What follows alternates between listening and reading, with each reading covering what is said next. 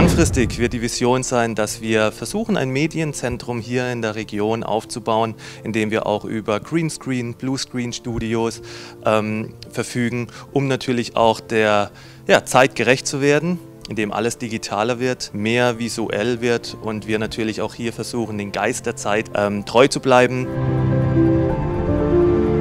Ich freue mich auf unseren neuen Standort, bei dem wir bessere und größere Produktionen umsetzen können. Für neue Videoproduktionen bringt uns der neue Standort vor allem eine erhöhte Geschwindigkeit, ein neueres, deutlich größeres Lager mit besserer Ausstattung, dass wir endlich mal wieder Platz für Wachstum haben.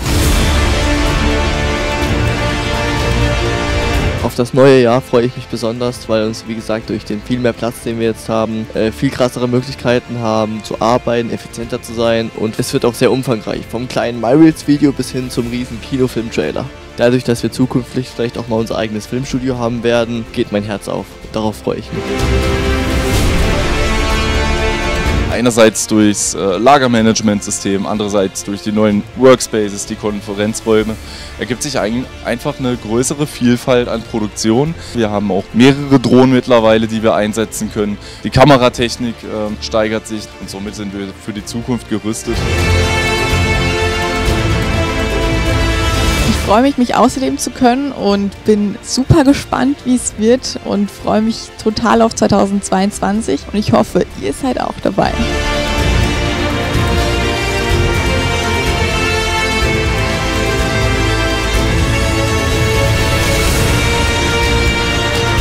Vielen Dank an das Vertrauen, an euch, an alle Produktionen, die wir dieses Jahr gemacht haben. Und ich danke natürlich auch für die, das Vertrauen in die Zukunft im Bereich des Videomarketings, wo wir gerne natürlich noch eins draufsetzen in, im Jahre 2022. Und deswegen an dieser Stelle sage ich auch natürlich dem gesamten Kühn Media Team vielen, vielen Dank. Einfach von Herzen, es ist eine schöne Zeit bisher gewesen. Wir hatten tolle Produktionen gemeinsam und harte Zeiten auch.